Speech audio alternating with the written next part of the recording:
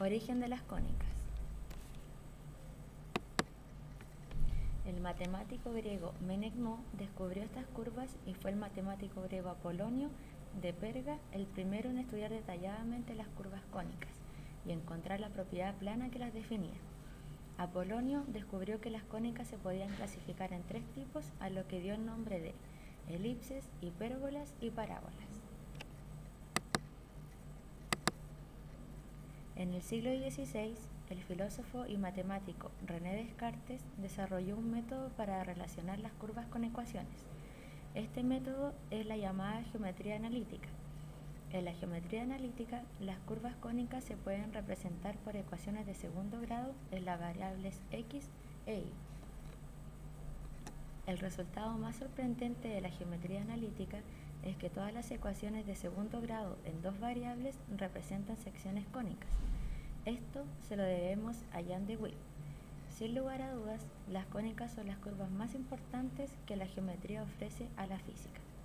Por ejemplo, las propiedades de reflexión son de gran utilidad en la óptica, pero sin duda lo que las hace más importantes en la física es el hecho de que las órbitas de los planetas alrededor del Sol sean elipses y que más aún la trayectoria de cualquier cuerpo sometido a una fuerza gravitatoria es una curva cónica. El astrónomo alemán Johannes Kepler descubrió que las órbitas de los planetas alrededor del Sol son elipses que tienen al Sol como uno de sus focos.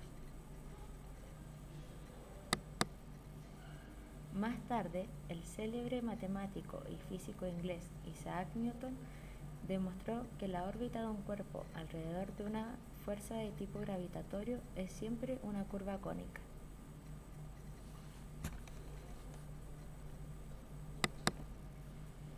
Origen de los nombres. Apolonio aplicó las palabras elipsis, hipérbola y parábola en un contexto nuevo, utilizándolas como nombres para las secciones cónicas. Elipsis, por ejemplo, significa una deficiencia y se utilizaba cuando un rectángulo dado debía aplicarse a un segmento dado y resultaba escaso en un cuadrado u otra figura dada.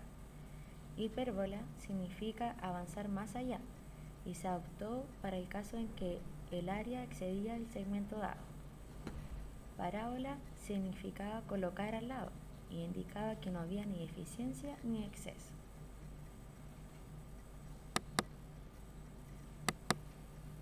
Clasificación y construcción de las cónicas. Las cónicas son curvas planas obtenidas mediante la intersección de un cono con un plano el ángulo que forma el plano y el eje del cono comparado con el ángulo que forma el eje y la generatriz del cono determina las distintas clases de cónicas.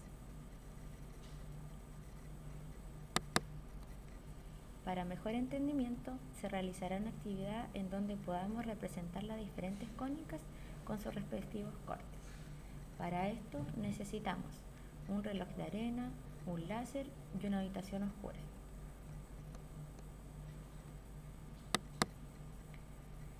Si atravesamos con la luz del láser el reloj de arena en esta dirección,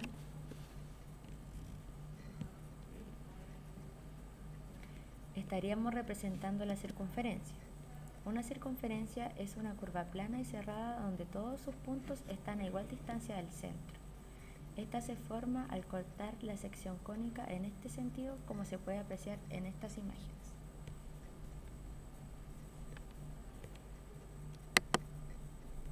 Al atravesar el reloj con el láser en esta dirección,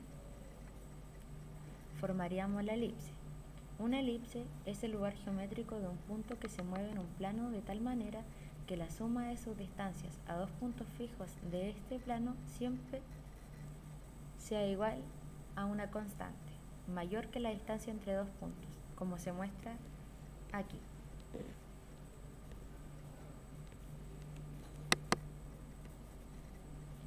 En este caso, al traspasar la luz en este sentido,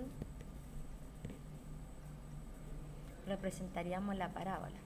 Una parábola es una curva con dos brazos abiertos cada vez más, simétrica con respecto a la recta que pasa por el foco y perpendicular a la directriz. Esta recta se llama eje de simetría y el punto donde esta recta intersecta la parábola se llama vértice, como se ilustra en la imagen.